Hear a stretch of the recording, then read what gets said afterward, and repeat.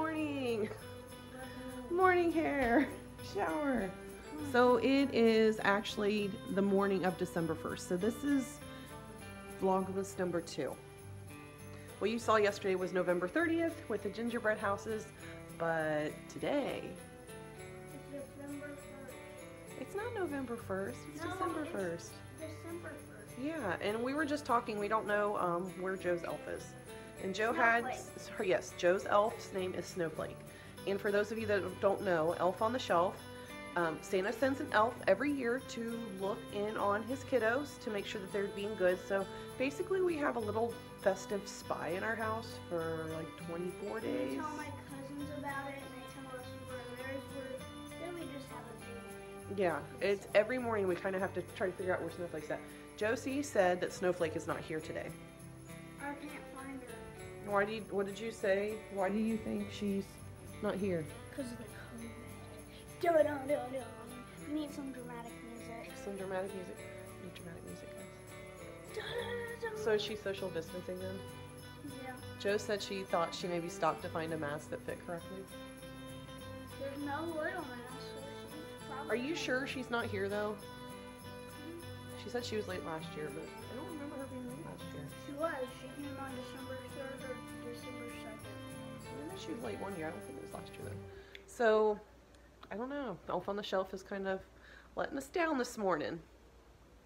Yeah. If you find her, you have to let me know. Are you eating chocolate for breakfast? Joe, it's not for breakfast. you always tell me that it doesn't work. Have you seen Daddy? He eats. Oh, oh, there she is. She's right here. She loves our gingerbread houses. You She's sure? right. She's on mine. Guys, we found her snowflakes near my gingerbread houses. Oh my gosh. So last year we had this um new thing apparently, and this is the um Elvis pet. She um I forget her name. I'm pretty sure I called her like probably something, but I don't remember. Oh, at least give her a name now. Uh, I don't know. Horny. Ew, peppermint. Actually, that's what I named her last year. Is it peppermint? Yeah, it's peppermint. So we found her. We found Snowflake and then we found Peppermint. Make you happy. Are you on a two hour delay today? Yep. Yeah, guys, look out the window behind her. It's not that much snow, but it's just enough where It's probably up it to may like be a little dangerous. Inch. Yeah. One inch. Still really slick outside. Yeah, I don't think you'll get a cancellation. You just got a delay.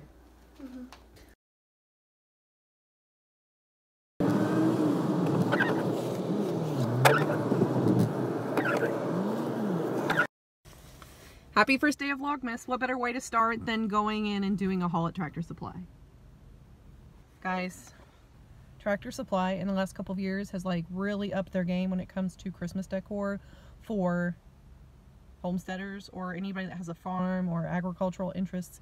And I kind of live for it just a little bit, which is fantastic because I've had so many times where I couldn't get the ornaments I wanted or anything like that. There's a weird guy walking behind my car. Where'd he go? He's staying behind my car. oh, he's getting carts. That's just me being paranoid. Sorry, cart man. So I'm gonna actually take you guys in there. We're gonna do a little bit of public vlogging, which is not my forte, not my strong point, hate it. But let's see what we end up with because I actually need a couple things outside of just browsing to see if they have like cute wrapping paper or anything like that. But yeah, they have upped their game. Let's go.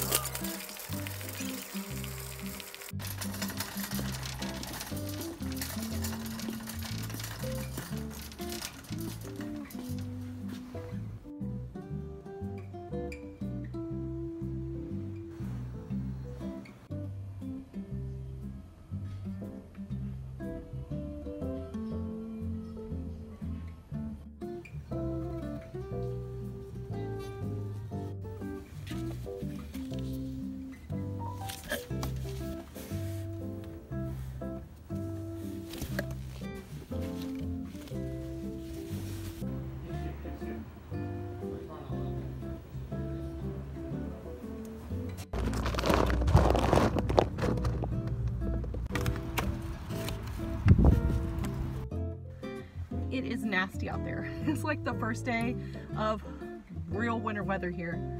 I live in Indiana, I work in Ohio, so right now I'm in Ohio. We're both getting snow and it's just like real wet nasty, but I just got done in Tractor Supply and I got almost everything that I need.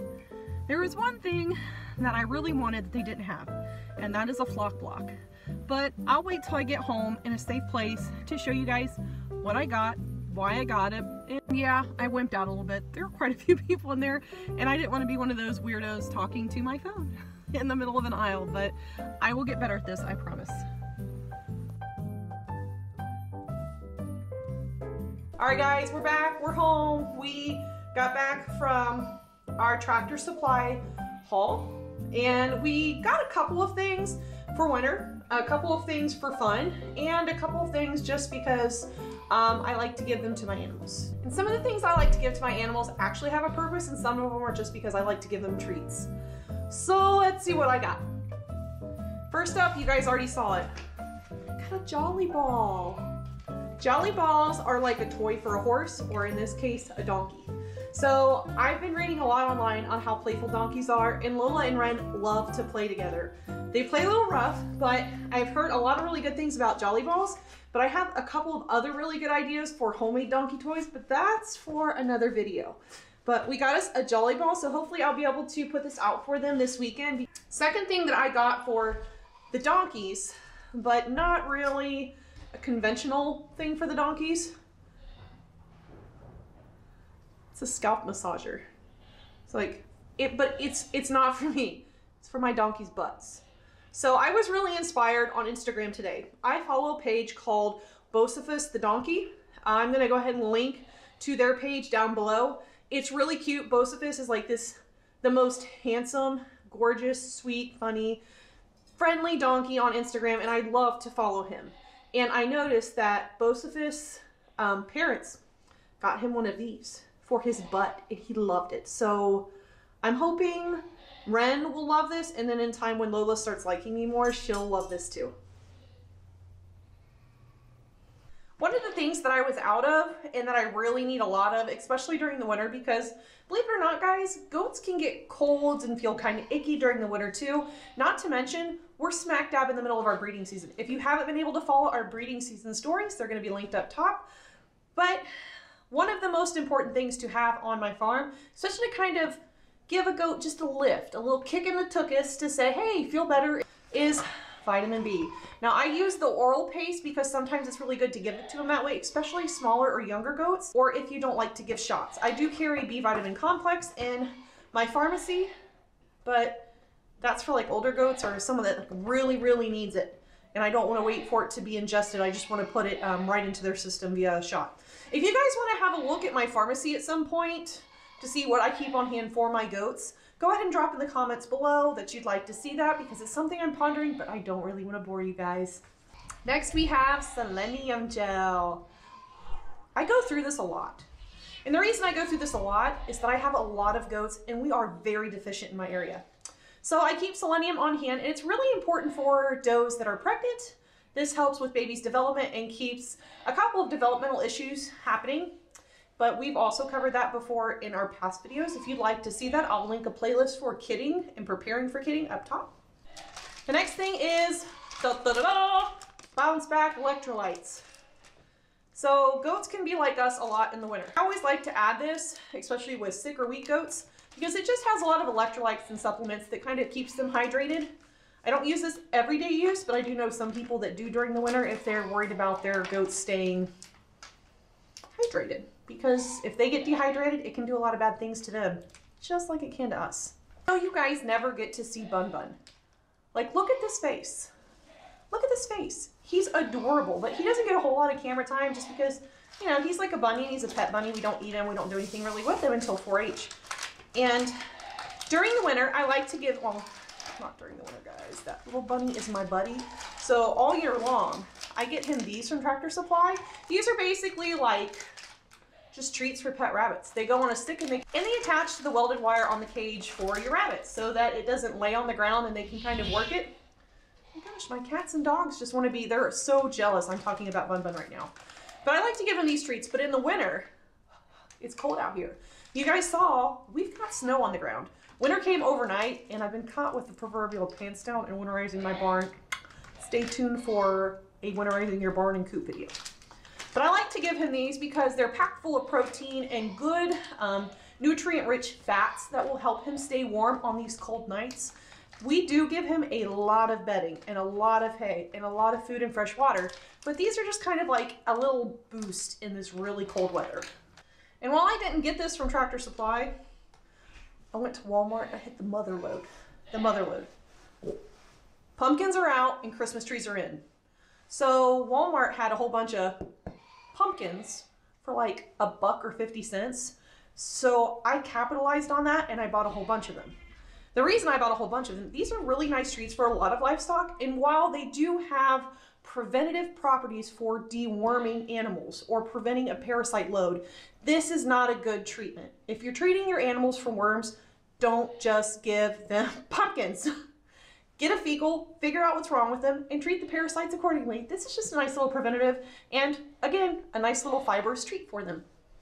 And of course, guys, I was talking about how cute, like C-U-T-E, cute, the stuff at Tractor Supply is around the holidays. Not to mention, they've really upped their game in home decor seasonally, like winter, spring, fall, summer, even though I didn't do those in order. Oh.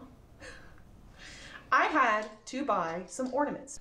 Because what you guys don't know is we've got a Christmas tree video coming and I'm doing a theme tree. I'm just gonna say it, I'm doing a theme tree. And I needed to have a couple extra ornaments for my themed tree. So I give you one antlered reindeer chicken. His antler came off in the car, guys. He didn't wrap him.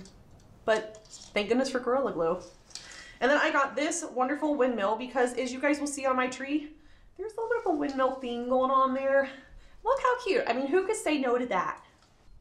And one thing that I did buy, and you guys saw, was black oil sunflower seeds and corn. I buy that because around this time of year, when the weather drops, I actually have to feed grain. There's snow on the ground, so my goats don't have access to a whole lot of forage. So that means I up what I'm paying them and I also start to supplement with grain feed. And black oil sunflower seeds, while great for does, not so much for bucks because of the um, minerals in them that can lead to urinary calculi. I give them to my does because it's got a lot of protein, a lot of good natural fats, and the corn is a nice um, metabolic. It kind of lifts their metabolism, keeps them a little bit warmer during these warm nights, but really doesn't have a whole lot of like dietary benefits to it. So that's why I brought those in. It means the feed bills are gonna start coming in, guys, just in time for Christmas. And don't worry, guys, I know I'm not showing any Christmassy stuff, but fear not.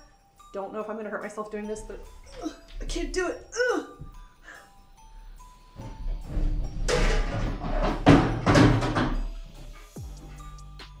I am just so gosh darn graceful, it kills me.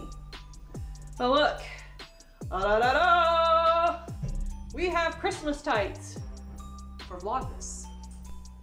So I think that's gonna do it for us today, guys. Thanks so much for coming with me into Tractor Supply, even though I didn't do a whole lot of talking because there are people in there that scared me.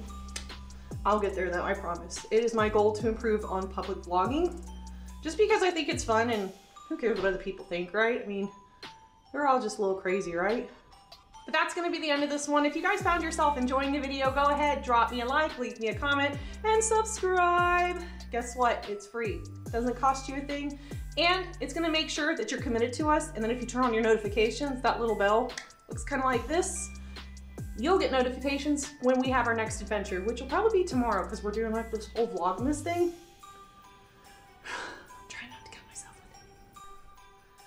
If you guys want to let me know what you keep in your barns or your medical supplies specifically for winter or what you like to go to Tractor Supply to buy, go ahead, leave it in the comments below and I'm going to catch y'all all in the next one.